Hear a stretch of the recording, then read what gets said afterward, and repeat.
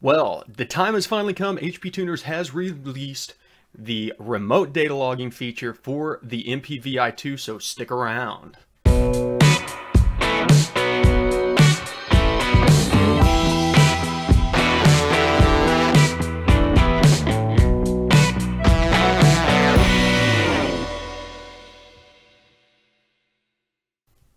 What is going on, everybody? Welcome back to the garage, and it is before dawn. The sun's not even came up yesterday. HP Tuners finally came out with the remote data logging feature for the uh, MPVI2.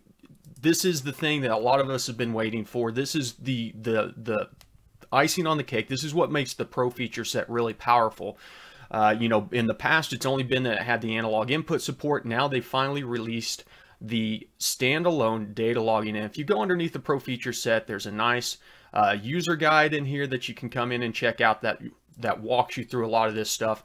I'm going to go ahead and talk about everything that you need to do to get this set up. And first and foremost, we need to go into downloads and grab the latest version of the VCM Suite beta. You got to have the beta uh, because this feature is still in beta.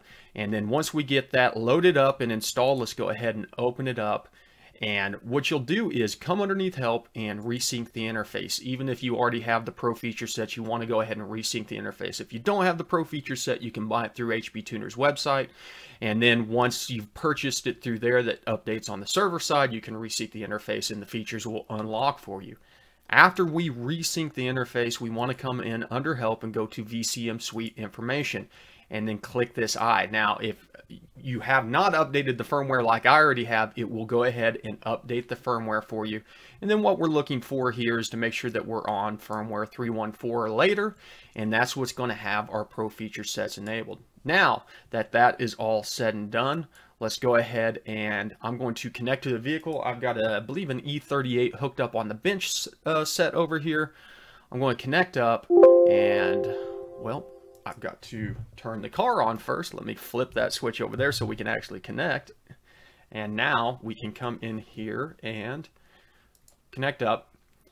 And like anything new, any new uh, release of the scanner software, things like that, I like to do a repoll for support, uh, supported parameters, make sure any new parameters that may be added gets pulled in there. Uh, one of the key things that we want to look at is our channel list. It's important that this is the list that we are basically going to be loading into the device. And so set up everything that you want to read on this channel list. Then we can come into Vehicle, MPVI2 data logging, and it's going to connect to our interface down here. We've got it on the main uh, page right here, we've got a few things that we need to do. And one of them is we can read channel configs. By default, the channel configs are going to be erased in here. So we also need to be able to write them in there. So if we write, it's going to take our channel configs that we have loaded up right now and save them. The cool thing about it is, is we can actually do a read channel configs. And it's going to give us the option to pull the channel config data out of the MPVI2 and save it as a channel XML file that we can actually load up. So we can, you know, say this is an E38. That's what's loaded in there. Resync interface resources, not quite sure what that does. Uh, it goes through steps. It's, it's probably just making sure all the information is in place to be able to do the remote data logging. There's more information on the website, I'm sure. But what we want to focus on here is the start-stop triggers. This is how we start our stop data logging. Gives us a couple options. Default, just short button presses of the Bluetooth button on the interface.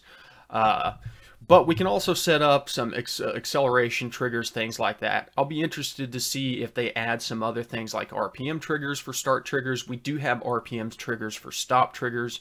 Uh, but as I said, we're very early on in the beta for testing this stuff out. We've got some default stuff that they added on here for like streetcar, which is a pretty low acceleration reading. And the MV, MPVI2 itself has an accelerometer in it that is doing these calculations and then race car a little more uh, acceleration stuff on there. But keep in mind if your your dongle is not hooked directly into the OBD2 port, if you have it on uh, an extension cable or something like that, G is not how you're going to want to do this because that thing could be moving around and causing it to start and stop. So we're going to use it right now as user initiated. We're just going to use the button and then we need to click the set triggers to load that into the device. And right now we don't have any log files on there, so we can go ahead and close this out. Disconnect from the car.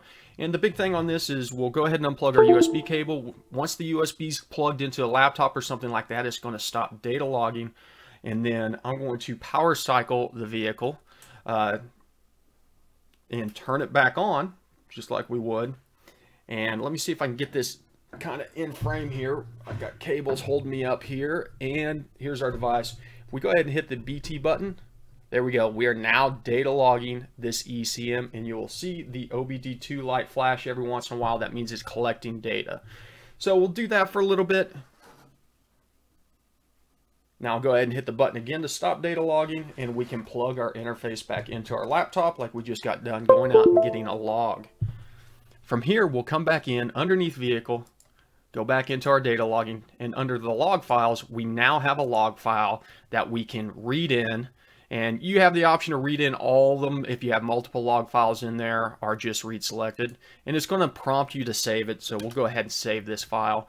And now that we've got it saved on our hard drive, we're going to go ahead and erase it. So we uh, make sure and keep space cleared up on our device while we're doing this stuff. So we can come in here. Now we can find our log that we saved open it up, and here's all of our data that we remotely data logged without having the laptop hooked up. So very straightforward, very easy to implement. Huge shout out to HP Tuners for getting this out. Everybody has been clamoring for this ever since the MPVI 2 came out. This was the big differentiator from the first Pro version to the 2 that made the Pro version worth sticking around. Now that the 2 is out with uh, the data logging, standalone data logging features, there's absolutely no reason not to upgrade to the MPVI 2 uh, because you get a whole bunch of other features such as being able to access uh, ECM types that aren't supported on the older platforms, things like that neural network training, all that jazz. You're going to need the latest and greatest hardware out there. So I wanted to throw a quick video together, uh, you know, before I leave for work this morning to show you guys how to utilize this feature because I know a bunch of you have been waiting to check it out. Uh, post some links down below over to HP Tuners, uh, over to the Pro feature set and things like that. So check the description if you have any questions. As always, you can leave comments if you like this content click that subscribe button, like, share this with other people, and you guys know the drill. Thanks for stopping by the garage, and remember, ABT, always be tuning.